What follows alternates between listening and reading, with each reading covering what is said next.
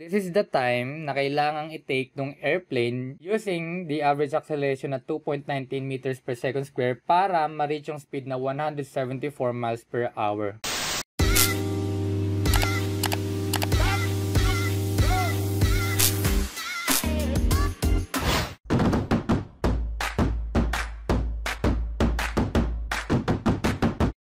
Velocity is the rate of change of displacement with time. Sa acceleration naman, acceleration is the rate of change of velocity with time. Thus, yung isang object nag-accelerate siya whenever nagbabago yung velocity. No matter what the change, it accelerates when yung kanyang velocity increases and nag-accelerate din ang isang object when the velocity decreases. So, pag nag-increase or nag-decrease yung velocity, ibig sabihin may change of velocity and nagkukos yun ng acceleration.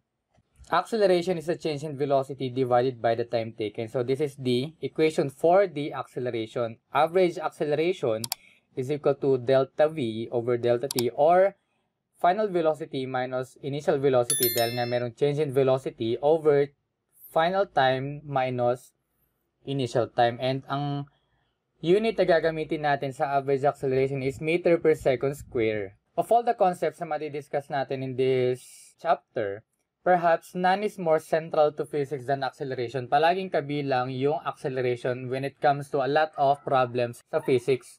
So Galileo, for example, pinapakita niya that yung falling bodies move with constant accelerations. Si Newton naman, pinakita naman niya that yung acceleration and force are directly related. Makikita natin yan sa mga upcoming lessons natin. It is particularly important to have a clear, complete understanding of acceleration before leaving this chapter. Yung unit ng acceleration or ng average acceleration, acceleration is meter per second square. Para naging ganyan? So, yung velocity natin is meter per second. And ang time naman natin is second.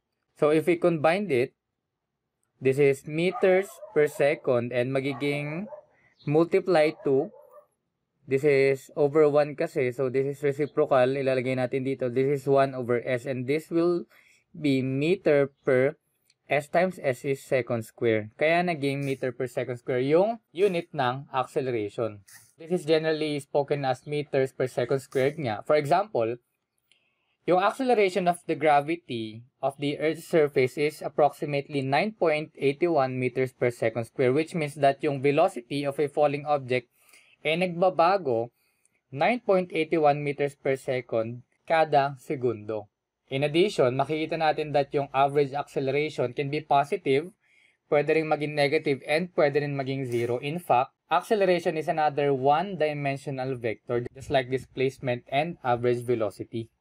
Example number 1, a certain car go from 0 to 60 miles per hour in 7.4 seconds. What is the average acceleration of this car in meters per second squared? From the definition itself, ang average acceleration natin is the change in velocity divided by the elapsed time, which is A, average is equal to delta V or change in velocity over delta t. Before we solve for the average acceleration, ang given sa atin is miles per hour. Kaya lang, ang hinahanap sa atin is yung average acceleration in meters per second square. Ito siya. From miles per hour, kailangan may convert muna natin into meters per second yung average velocity na given sa atin. So, yung delta V is equal to V final minus V initial. Ganon din yung delta T natin. This is time final minus time initial. Kaya lang, yung initial velocity kasi natin is sabi dito is from 0 to 60. So, kahit hindi na natin i-convert yung 0, since 0 lang din naman siya, this is 0 na. I-convert na lang natin from miles per hour to meters per second is yung 60 miles per hour. We have 60 miles per hour. And ang conversion factor natin dito is 1 mile. Lalagay natin sa denominator para makancel siya. 1 mile is equal to 1,609 meters. And hour to second naman, 1 hour lalagay naman natin sa numerator again para makancel. And 1 hour is equivalent to 3,600 seconds.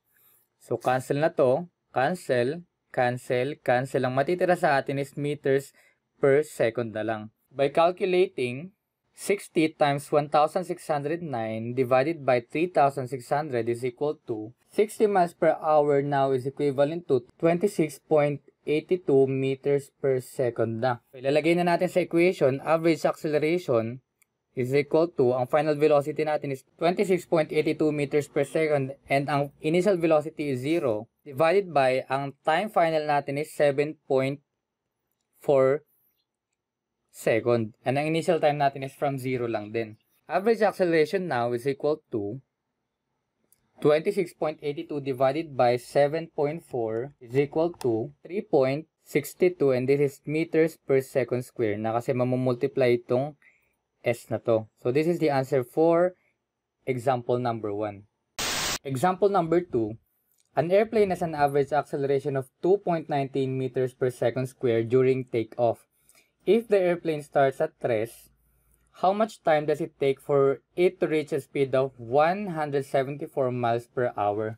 So in this problem, we have a given average acceleration and speed na kailangan natin i-attain. Ang, ang hinahanap sa atin is yung time. Kaya lang, the twist in this problem is yung average acceleration natin is given in meters per second square while yung speed naman natin is 174 miles per hour. So, we have to convert either one of the two para magtama. Kasi kapag hindi natin kinonvert, halimbawa, ginamit agad natin itong dalawang quantity na to into the equation, malaki magiging kaibahan ng answers. Kailangan merong mag-adjust sa kanilang dalawa. And ang adjust na lang natin para mas madali is yung miles per hour. Ko-convert natin yung speed natin na 100 74 miles per hour into meters per second. We have the formula, average acceleration is equal to change in velocity over change in time. Isa lang ang given sa atin na velocity, ito siya, and this is the final velocity. Ibig sabihin yung initial velocity natin is 0 na agad. This is V final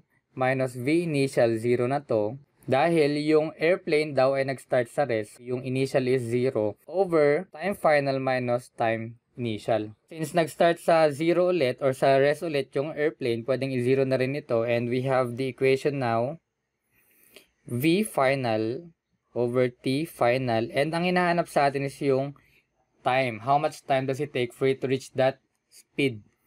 So, i-rearrange lang natin equation and by cross-multiplying, we have time final is equal to velocity final over the average acceleration. Ang problema muna natin is yung conversion ng velocity natin from miles per hour to meters per second. So we have 174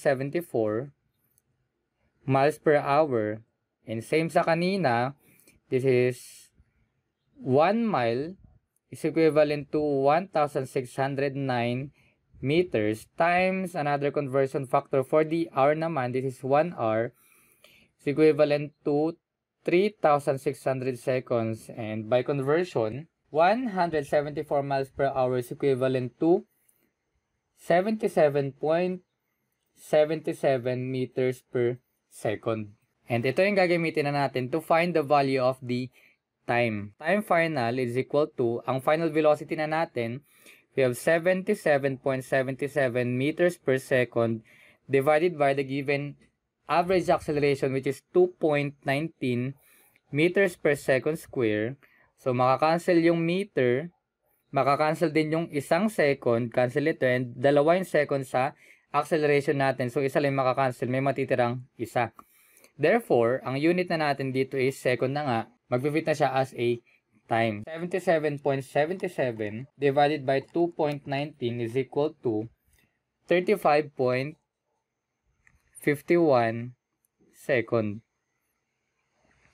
This is the time na kailangang i-take ng airplane using the average acceleration at 2.19 meters per second square para ma-reach yung speed na 174 miles per hour para mag-take off na siya. And this is example number 2.